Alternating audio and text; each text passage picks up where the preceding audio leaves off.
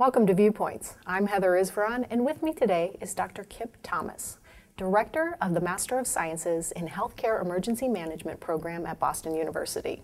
Welcome, Kip. Oh, thank you, Heather. It's great to be here, and I'm really excited about being invited to be part of the UAPI program, the University Par Partnership Initiative.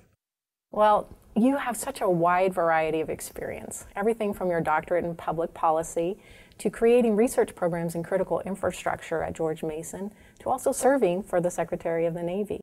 Can you tell us about your program at Boston University? What is it? Absolutely. It, well, it's a new discipline. It's in healthcare emergency management, which is relatively new. Um, I guess in 2004, some of the uh, communities that are part of the first response community realized that it was necessary to more professionalize the emergency support function for ESF 8, which is the public uh, health response component.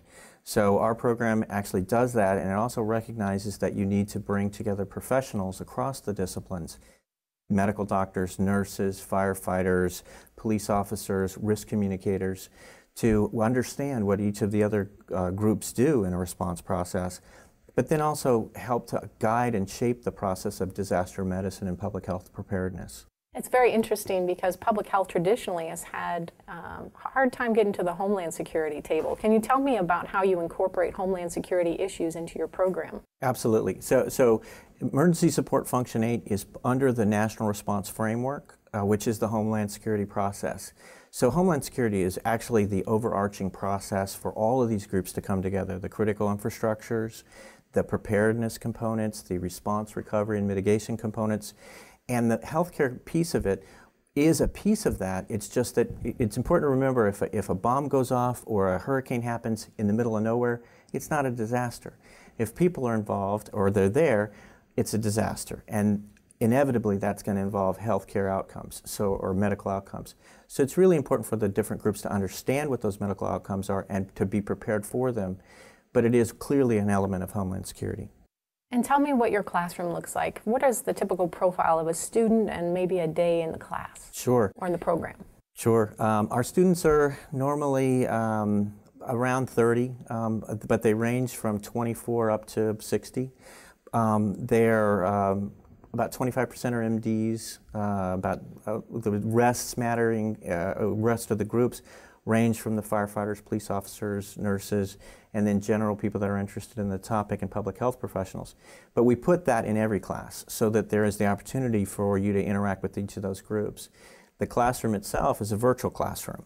So it's not your traditional sit in a brick and mortar uh, space. While we do have one classroom where you can do that, most people come in into the virtual teleconference that each class has at a synchronous time and conduct a normal classroom experience that way. And it's really actually uh, somewhat more vibrant than uh, a face-to-face classroom experience because you see everybody's faces on the computer screen in front of you and you really are, are very close and personal with each person.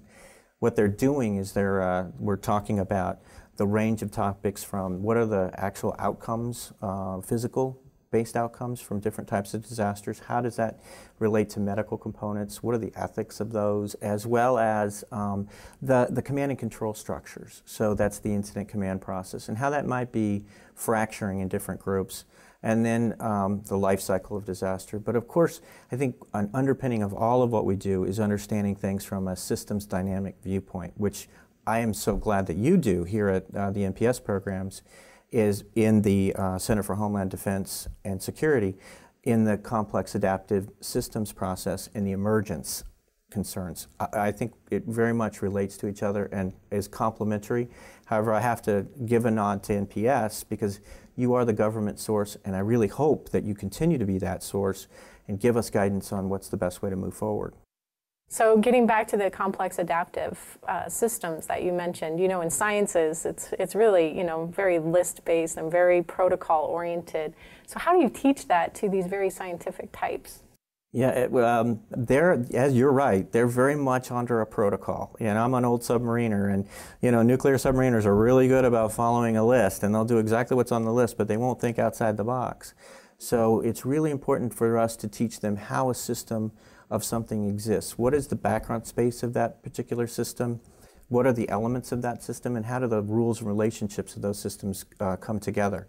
So that's sort of an undertone or a current that we put through all of our coursework so that we can get critical thinkers in the end. And it's, it is a challenge. Um, we put five full hours of the program devoted to teaching the actual uh, mechanics of that. And we make every student come out of the program a systems dynamic modeler, not an expert, but a modeler. That's terrific. And so you've been in our classroom this week with about 25 other professional educators learning about different methods of instruction, different types of curriculum. Can you tell me a little bit about that experience and what, what has been the benefit for you? Uh, I, I, well, first I want to give a nod to you and to Stan Supinski uh, for the, the numbers and types of people you brought to this group. Again, thank you for letting me be part of the group, but the group is a really dynamic uh, set of people that have great experiences and are shaping this, this community as we go forward. So the interaction with them has been phenomenal. The framing of the discussions using your curriculum and your lead instructors has been well thought out and really gets us a sense of what, what the accomplishments of NPS are. And it allows us to talk about what our objectives are individually and as a group. And the other thing it's been is a great networking experience. Uh, I have uh, some of the colleges and universities talking about uh, developing relationships so that their undergraduate students might take our program, but also so we can do research together and uh, and work on journals and, and get, thing, get things done. I'm really excited about it.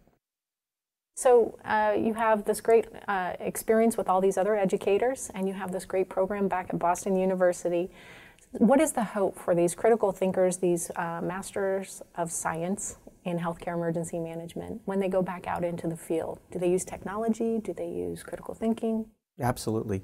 Um, the crit- critical thinking and the, the, way to think about things in a critical way as a system and the system of systems is a, is a key component of what we're trying to do in making them the new leaders uh, in this space. So they can really help define what the space is in Homeland Security and from the healthcare per- perspective.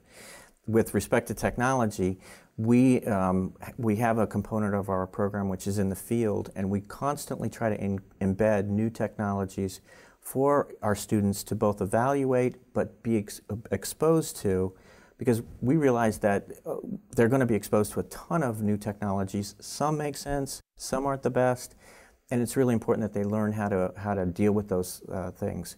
From our classroom perspective, we use this virtual classroom, which, uh, you know, I, I, it's debatable, but I think it's still true. We're the only fully virtual program in the world.